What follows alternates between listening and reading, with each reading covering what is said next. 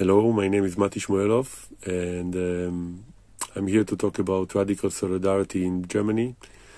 Uh, when we talk about uh, Jews in Germany, we uh, think about them as um, as European Jews, European white Jews who uh, maybe uh, was massacred in the Holocaust or not. Um, but we never think about the Arab Jews. We never think about this history, this culture, uh, this long uh, time in the Middle East where Jews uh, was living in the Arab states.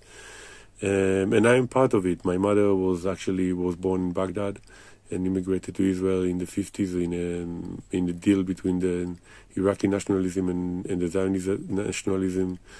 Um, I grew up in Israel without no recognition in my culture or any. Uh, I never learned about Baghdad in the school.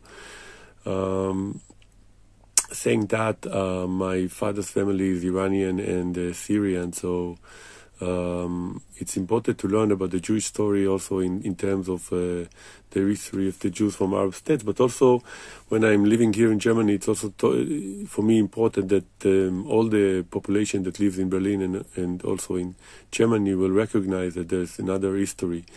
I think the Arab Jewish history for hundreds of years of exchange between Judaism and Islam can really give a lot to people who are European or even uh, from the Middle East.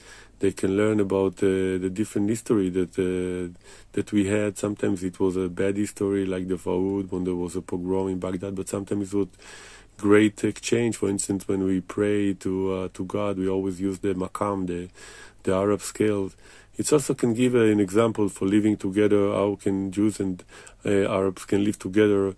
Uh, throughout the years, there was a lot of um, um, solidarity and uh, and and an exchange uh, and that dialogue between Arabs and Jews in the Middle East, and we can use these uh, forms and positions and examples also to uh, teach the the Jews who are in Israel how to make peace with the Palestinians, give them full equality and justice between the river of Jordan and the and the and the, um, and the Middle East and the the, um, the sea, um, the Mediterranean.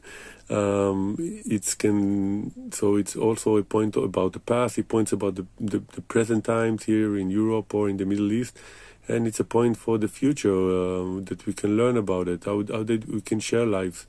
Um, how uh, Arabs uh, and Jews were speaking Arabic, uh, dreaming in Arabic, imagining in Arabic, uh, writing love poems in Arabic.